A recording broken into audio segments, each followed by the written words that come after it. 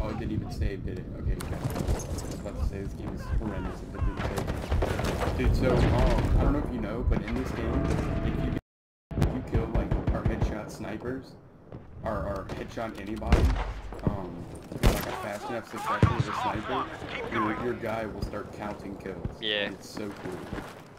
I only got the three. Missed after that. Like you have to like, like pretty much immediately after you reach him.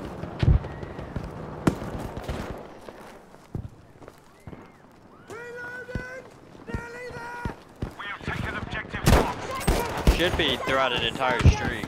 Yeah. Man, the competition.